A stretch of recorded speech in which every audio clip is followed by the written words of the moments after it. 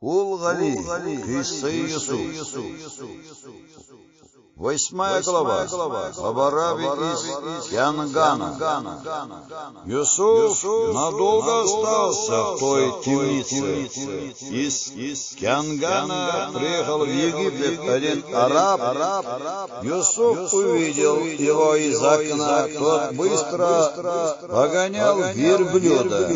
Когда араб приблизился к темнице, тот верблюд узнал, что там находится Юсуф.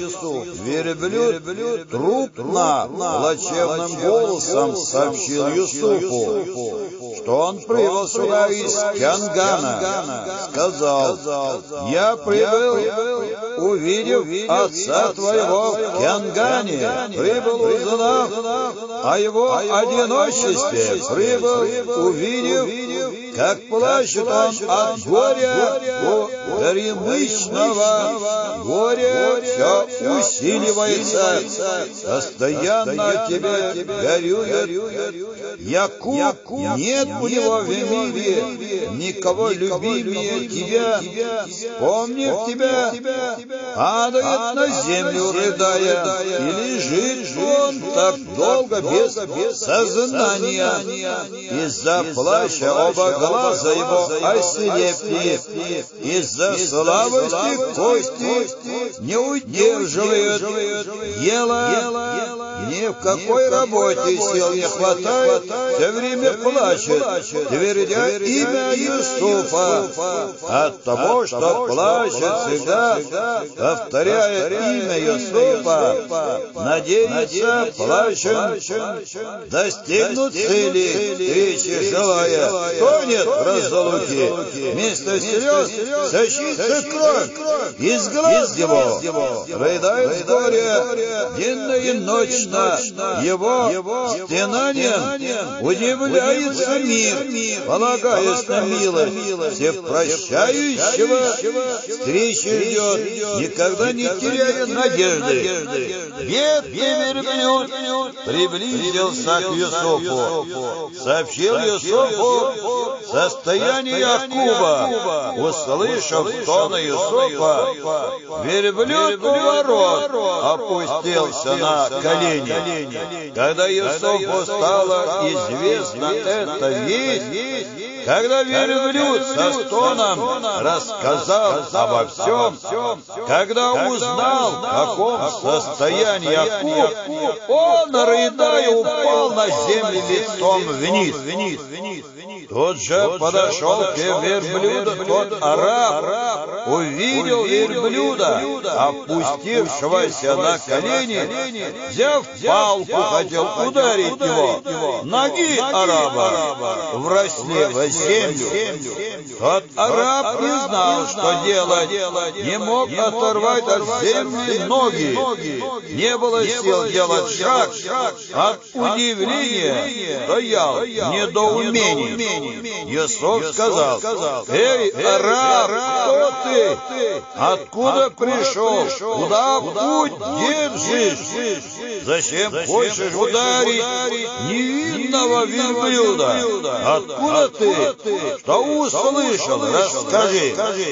Тот араб увидел Юсуфа, ему рассказал о себе.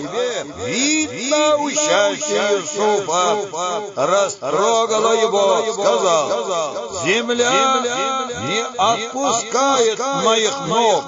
Юсуф сказал, «О, араб, какую преследуешь ты цель? Задержание твоих ног — результат твоего поступка, твоего намерения ударить этого верблюда. Выкинь гнев своего сердца. Тот араб раскаялся в совершенном грехе. Земля отпустила его ноги, он освободился. Тут же подошел к Юсуфу, поцеловав его руку, приветствовал его. Затем Юсуф начал расспрашивать араба, тот, отвечая Юсуфу, рассказывал, подробно сообщил обо всем, что с ним было. Так араб рассказывал а Юсуф слушал и плакал. Араб сказал, я только что прибыл из Янгана, привез товары с собой для продажи, получил некоторую прибыль в египетских золотых монетах, товары распродал, теперь возвращаюсь в Яканган. Юсуф сказал, если ты прибыл из Ханаана, видел ли там, ты там ветвистое круглое дерево, глянул ли на ветки. Его окружившие, целы ли ты двенадцать. Ветвей его? О горе! Далеко осталась страна. Ханаан, там, там начались пути дороги, разлуки. Когда дует ветер, ветер Ханаана несет запах горя того ветвистого дерева. Араб сказал, понял это твой намек. Подумав, узнал тайну этого слова. Однако удивляюсь, слыша его. Скажи, какая мудрость скрыта в нем? Сказанное тобой ветвистое дерево — это Яков. Оказываю услугу ему. одиннадцать его сыновей. Двенадцатый по имени Иисус. Отсутствует. В действительности. Сел его волк. Тех пор бедный в растерянности. постоянно рыдает в одиночестве, прося силы для встречи. с Иосифом постоянно молиться. истинному Богу. Никогда он не покидает дома печали, сердце его горюет, в рот не берет пищу, ни разу на мир не взглянул в глаза, разверзив от плача оба глаза, его ослепли, постоянно горюет по Юсупу, никак не может забыть его, не внемлет никакому совету. от его плача по Юсупу, содрогаются и горы. Пророк Иисус, услышав это, громко заплакал, взяв руки араба, просил на него надеясь. Доверяю тебе. одно поручение. Найди Якова и передай ему. горемыки от меня поклон. Скажи ему, что я посланец странника, я нежнейший. Из печальных и исчезнувших, я утешение для душ, израненных и стремящихся, как передай весть от заключенных. Иисус, когда провожал того раба, вынул из-за пазухи браслет, вручил его тому арабу, сказав, пусть этот браслет будет памятью обо мне. Пожалуйста, не забудь, о араб, мое поручение. Привет мой достал быстрее. Расскажи мое положение Якубу. Пусть он совершит молитву за меня. Его молитва, безусловно, принята будет. Тогда Творец дарует мне успешное освобождение. Если Бог захочет, после мучений настанет радость. Молитвы пророка сбываются. Араб сказал, хотел бы знать, кто ты такой. Снял бы с лица покрывало, взглянул бы я, увидев лицо твое, пропали бы мои сомнения. Сообщил бы я Купу, кем ты являешься. Юсуф сказал, не могу сказать тебе, кем я являюсь, не могу снять с лица нет разрешения исполнить. Это твое желание, дело, совершенное без разрешения, не приносит счастья. Юсуф сказал, этот подарок, который тебе я дал, ты знал, из красного яхонта, зная его цену, береги как аманат. Он стоит двадцать тысяч золотых.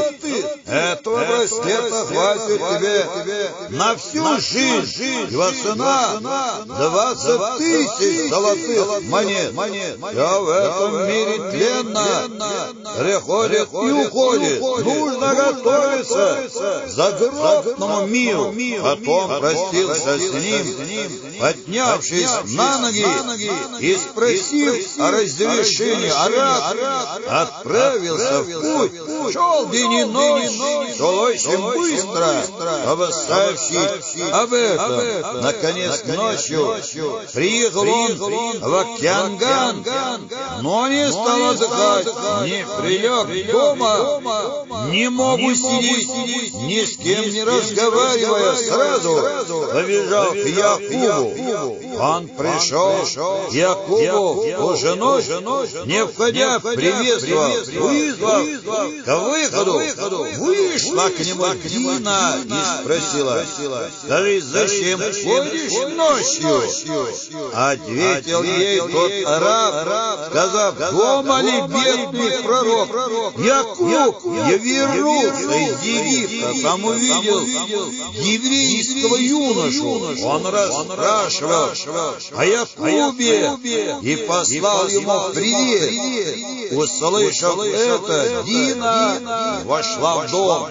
Пророк Якуб в тот момент совершал намаз.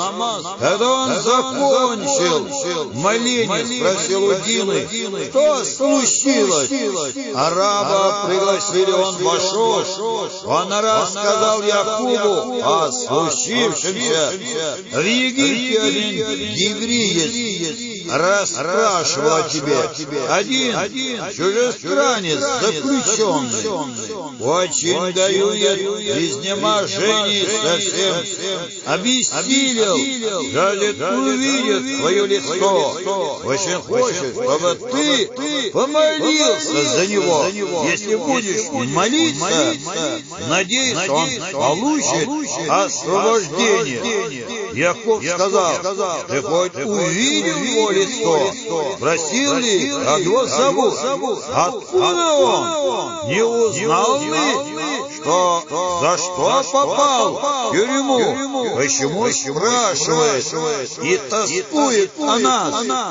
Раб сказал, спрашивал, он не сказал, ничего о себе не говорил, покрывало с лица не снял, а свет проступал, и сквозь покрывало Яков пророк прочел молитву за араба, сказал очень приятно было для меня твое сообщение. Печальное сердце получило успокоение. Необходимо теперь отблагодарить за эту радостную вещь. Араб сказал, благодарность я уже получил. Мирские мои желания исполнились. Он подарил мне один браслет, стоимость которого двадцать тысяч золотых. Он добавил, о Израиль, ты молись за меня для жизни на том свете. Пусть простит меня мой великий Господь. Мир бренен, вот свет вечен. Яков сказал, я уповаю на Бога, пусть даст своей милостью все этому арабу, пусть мы встретимся с ним в раю, пусть он будет в раю моим соседом. Потом верблюд заговорил приятным голосом. Он тоже обратился Якова с просьбой. Просил Якова молиться из-за него, чтобы на том свете и он получил благо. Пророк Яков молился за верблюда. Творец принял его молитву. Приготовлено было в раю для него красивое место. Творец совершил такое чудо. После этого раб сказал Исраилю, молись Богу за того одинокого, проси Ему освобождения, избавления от горя, о Израиль, твоя молитва принята будет. Пророк Якуб, воздев руки, совершил молитву. Бог принял его молитву. Жабраиль об этом сообщил Юсуфу, доставил Юсуфу радостную весть, сказал ему, слушай, о правдивый, молитва отца исполнилась, Творец дал тебе радость освобождения, избавишься от бед, получишь покой.